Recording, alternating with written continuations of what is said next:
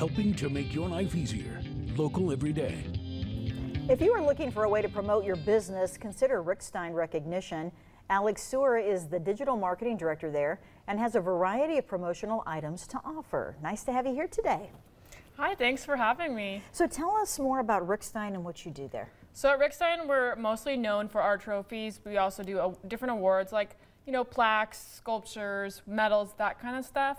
But over the last, I would say 20-ish years, we've also gotten into more of your promotional items, which are different items that, you know, brands will use to uh, give out their branding information or their company information or whatever they have it. Yeah, put your best foot forward, right? Exactly. Okay, and so you brought some items in today. I did. These are promotional examples. Maybe tell us what we have. Yeah, so this is just one of our many boards that we have at our showroom, just with some examples of the different promotional items that we can make. So you've got your traditional, like, you know, highlighters, erasers, pencils, that kind of stuff.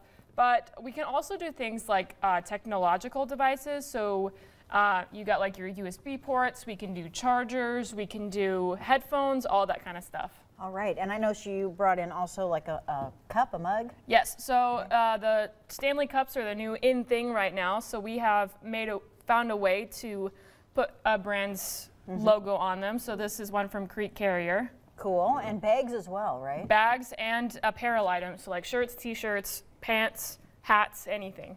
So Alex, do companies need to come to you with their item that they want to have uh, personalized or do you have them there? So both. A company, if they have, let's say, 100 tumblers and they want to come in and get them branded, then mm -hmm. we can mm-hmm. do that. Or we have a massive catalog full of potential items for them to choose from. What's the most popular, do you think?